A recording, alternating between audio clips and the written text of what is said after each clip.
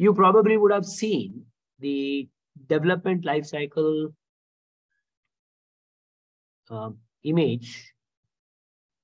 If you're using, yeah, MLOps, uh, without MLOps, how your machine learning model is developed is, is given here. So we are taking sample data, data store is there, whatever raw data that is available, we take that, pre-process it, we do EDA, data analysis, data pre-processing, etc. And then we build the model. And for building the model, we implement the split strategy. We evaluate it, uh, we validate it. There should be a dotted line here. We refine it and all that. And then once the benchmarks are reached with respect to the accuracy, we put that in a code repository. This code repository could be your GitHub or kind of GitHub related uh, right code repository softwares where your data uh, your data and code is getting dumped because multiple contributors will be there. So from all these developers, you're getting the final code here. Then comes your software team, software development team, which basically takes that model, deploys it. And as the end users start using the functionality, they generate a lot of new data. The model is generating the results data. All that would be again stored back into the data store so that we can do the performance metrics, uh, basically the comparisons and all that. So this is without MLOps principles being followed. Because your data does not stop here, right? New data keeps coming in. You're taking one version of data, one, one set of data, for example, one month's data. Isn't it? Say, for example, if I if I talk about 360DigiTMG, which was a, a tech company, let's say we are trying to do some kind of analysis on 360DigiTMG's data. Students inflow, let's assume, right? Number of students enrolling a program. Now I will take November month's data, or I would say one year data. So from November 2021 to November 2022 till today, I'm going to capture one year data. I will develop a machine learning model and I will predict my label data, target data. Right? Now the question is, is 360DigiTMG stopping the business in 2000, November 2022? No, right? Business continues. What will happen in 2022 December? There will be new data coming in. Okay, you're saying yes, 2022 December is new data. I'm going to do predictions. Right? I'm, I'm trying to do predictions of, on, the, on that data. Fine, you are doing predictions, but December is completely different month, holiday season. Or there will be some other competitors in the business, or there could be some new programs launched by 360DigiTMG, which probably will have a lot of attraction, right? A lot of traction from the students. So we never know business is very, very dynamic. So your predictions go wrong if you this if you see uh, new changes coming in because you're capturing the pattern in the data for last one year data only. The new things were not recorded. Anyways, you are doing predictions, but those predictions are completely wrong. Fine, this is a learning because we have launched a new program. Predictions are going wrong. But what about the model that you have developed here? Don't you think that model has to also update itself? It also has to learn new things, right? Because you're saying December, the pattern was different. So if I have to use the same model to predict in January 2023, don't you think this information becomes very critical for the model to understand how the business changed or evolved. So what should I do in this case? Should I return, retrain the entire machine learning model again? So in this particular flow, you can see that CI, CD is not. And when we talk about machine learning models, continuous training, CT, is important. Right? So that aspect is not there. So we are going to dismantle this entire machine learning model and re-iterating the entire step, uh, the process. It's like new project altogether now. So this time I will include 2022 data as well from the raw source of the data. Again, flow, uh, follow this uh, flow and develop the model, store that in code repository, then deploy it.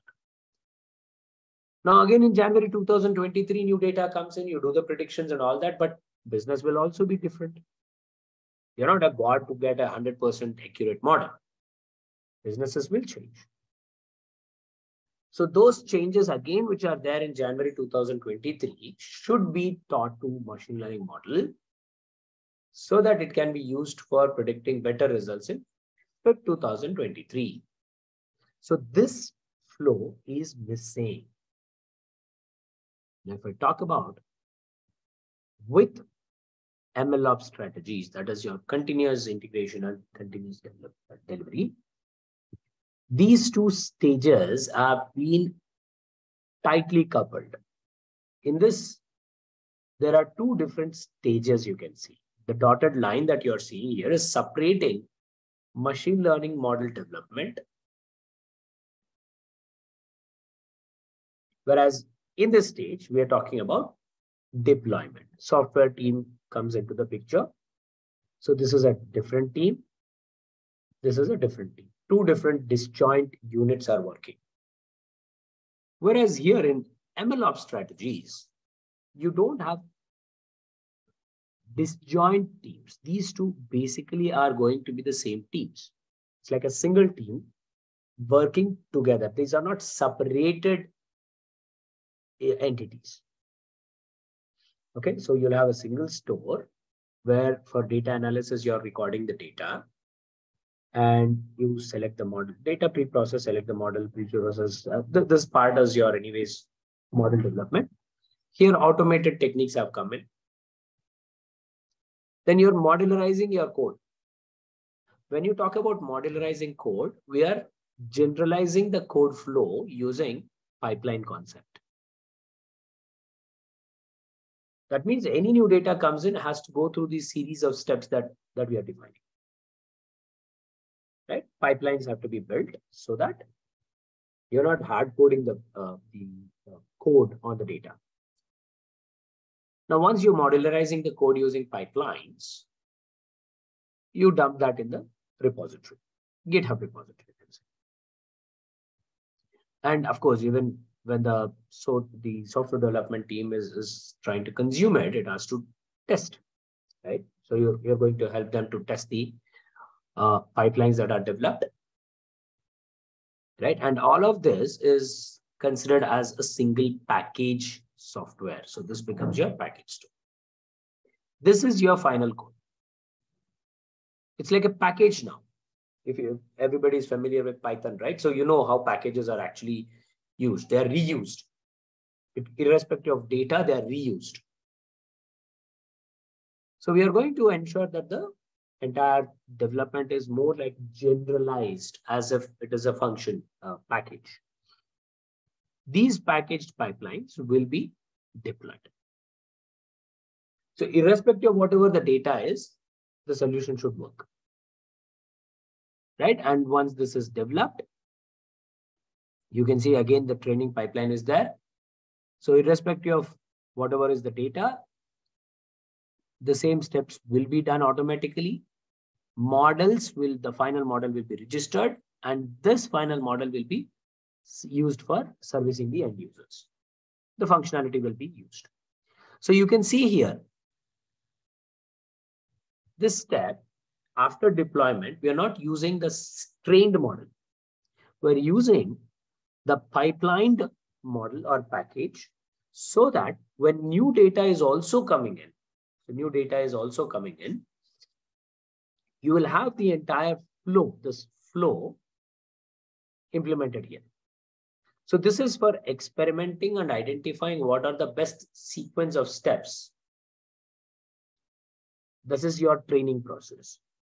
Then your modularization of the code happens where we are trying to generalize this flow and test that flow and then generalize it as if it is a package for reusability. That reusability code will be deployed. So you probably have developed this using data till November 2022.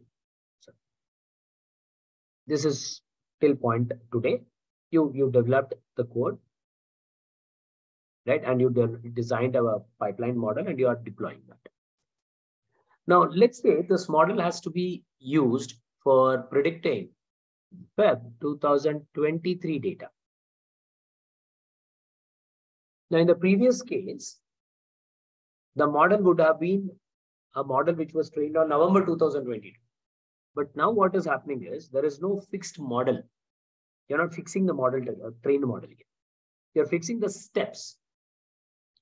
So all the data till January 2023 will be used here for model development and registry. The final model which is developed on Jan 2023 will be used here. Right? And we are anyways consuming this data, restoring, uh, saving all the data and then putting that in the data store.